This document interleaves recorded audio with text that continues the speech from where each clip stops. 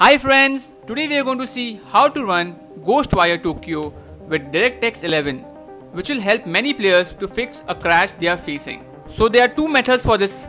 The first one is go to the game install location, right click and create a new shortcut.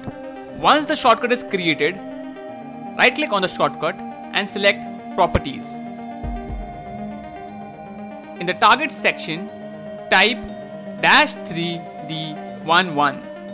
This will tell the game to run in DirectX 11. Click on apply and then OK.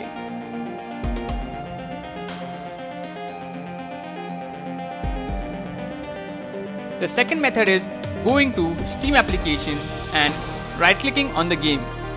Then go in properties. The launch options you can type dash 3d11 or dash dx11 there you have it. Now your game will run on DirectX 11. I hope this video was helpful for you. Please comment if this video was helpful for you. And if it was, please like this video, share this with anyone who's facing a similar issue and subscribe to our channel QM Games. Take care and see you in the next one.